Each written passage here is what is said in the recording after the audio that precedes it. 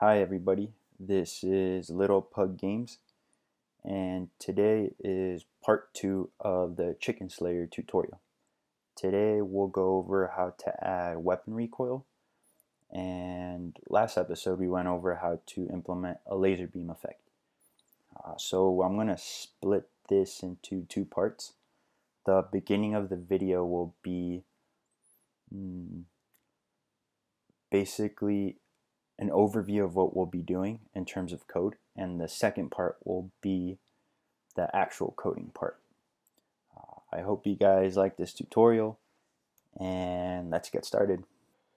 Okay, so what we're going to do today is implement weapon recoil, and this is a little overview of how we're going to do it. So when we shoot a weapon, we have an equal and opposite reaction, right? So this weapon will go back at an initial velocity x, we'll say. So it's going to be moving back. And then what we want to do is give this weapon a positive acceleration so that it goes back to the start position. At each point in this in this uh, scene, we'll have an offset. So an offset of vector x or vector x, sure. And then we'll also have a max x distance. So this will be the maximum distance that the weapon will travel in. That's basically how we're gonna implement this. So once we're done, you'll be able to add this script to your weapons and then also your cameras. So let's get started with the programming part we're going to need a couple public variables like the ones we described in the diagram. So we're first going to need a public float and this will be a maximum offset distance. We'll also need a public float. We'll call this recoil acceleration. So this will be the acceleration back towards the weapon starting position. And finally, we'll have a public float called weapon recoil start speed. So when we shoot and we add recoil, we're going to set it equal to this we, uh, weapon recoil start speed we're going to need a couple private variables as well and I'll describe why we need them as we go along. So the first one is a boolean called recoil in effect and this simply lets us know if we are currently in recoil mode. Next we'll need a private bool and we'll, we'll call this weapon headed back to start position. So we're going to set this equal to true once we once we hit this maximum offset distance and we start moving back towards the starting position. We're going to need two other variables and both of these will be vector 3s and they'll be used to store first our offset position and the next one will be used to store our speed. So recoil speed. Next we are going to set a start function. And we're going to set these variables to just zero them out basically. Let's also add a public function called add recoil and this will simply just add recoil to whatever object this script is attached to. We're going to need a couple things here. So we're going to set the recoil in effect to true because now we we're in a state we're in a state where we do have recoil. So let's set that to true. We're going to say weapon headed back to start position weapon headed back to start position is going to be false. And finally, our we're going to set our recoil speed.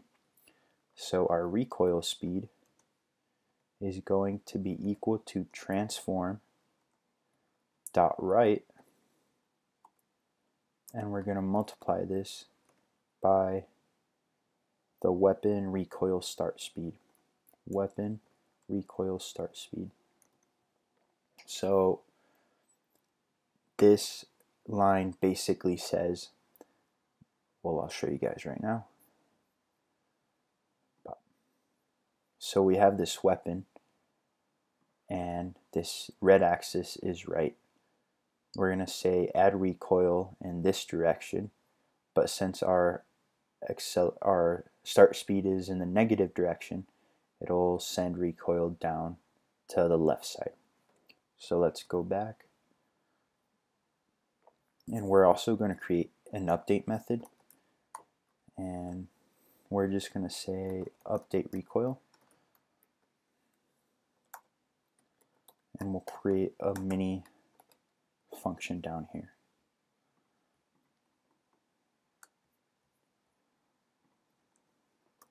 Private void update recoil. So first things first, we want to see if we are in a recoil state. So if recoil in effect is equal to false, then we're going to return out of this function because we have nothing to do. Return. And now we have to set our physics variables up basically. Set up speed and then position. So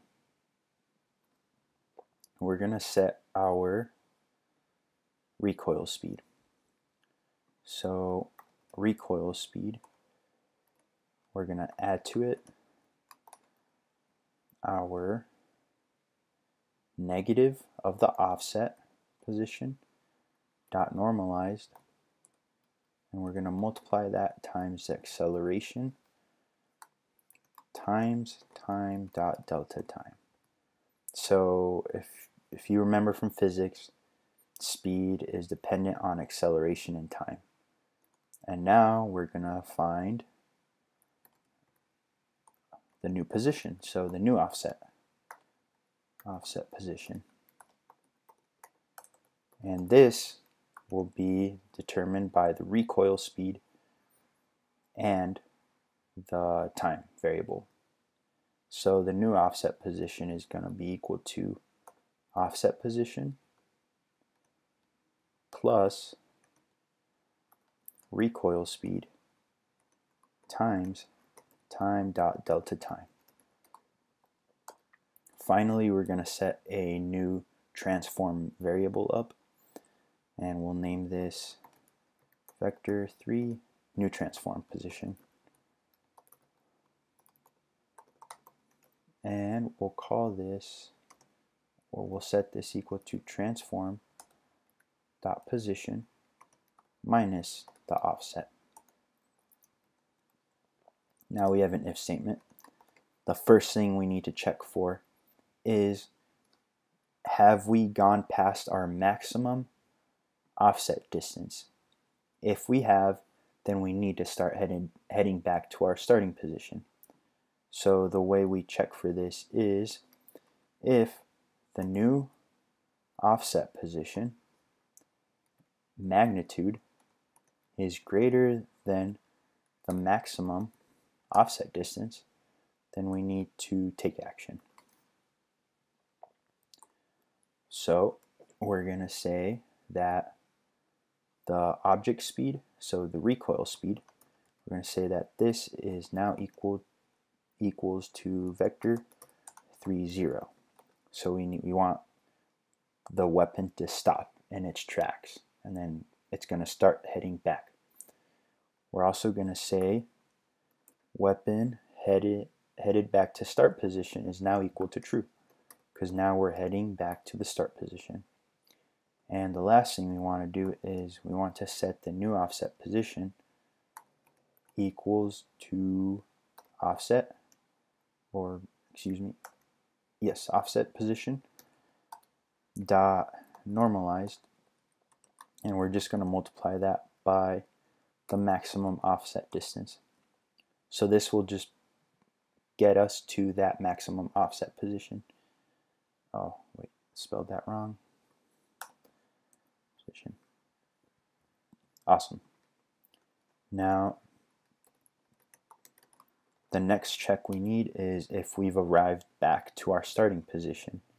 And we'll do this by first checking if weapon headed back to start position is equal to true. And we also, so this part's a little hard to explain, but if our new offset position dot magnitude is greater than our offset position dot magnitude, then we need to stop. So we need to set a couple things up. So we need to set our transform dot position is minus equals the old offset or the offset position. We also need to set up our old offset position.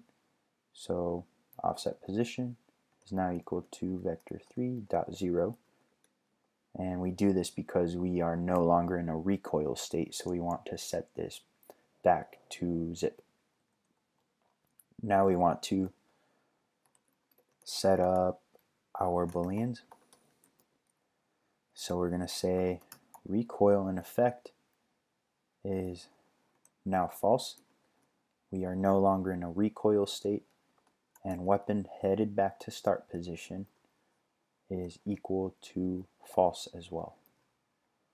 After this, we're going to return. And finally, the last thing we want to do if we're in this case is just simply say transform dot position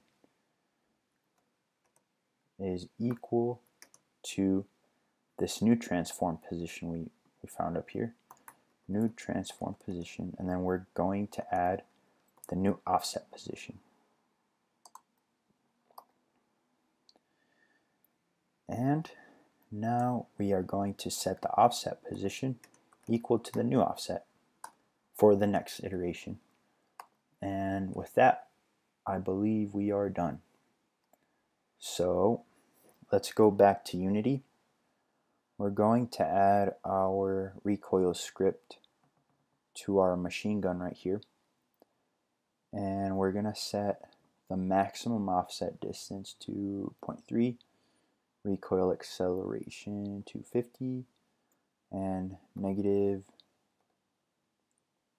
10 for our recoil start speed we're gonna go into our machine gun script to add this recoil script inside so let's go do that really quickly so first things first we need to say private recoil script.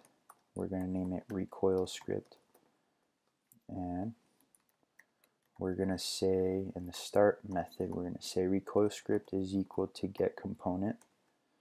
And we're just going to say recoil script. And the only thing we need to do to add this recoil is when we fire the weapon, we just need to say recoil script dot add recoil. So let's go back to Unity and test it out. So let's save. Let's start project and let's shoot. And there we go. We have a recoil effect. Looks pretty cool. So we can turn it around.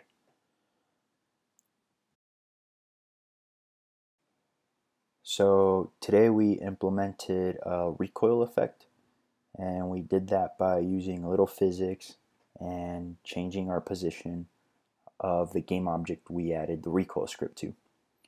In the next episode we'll go over how to add a sound effect to our weapon when we fire as well as adding the recoil script to our camera so that it'll add a camera shake effect. in the last episode, we'll go over how to add a particle system muzzle flash effect to the weapon. I hope you guys found this useful and thanks for watching. I appreciate it. You guys have a great day and bye.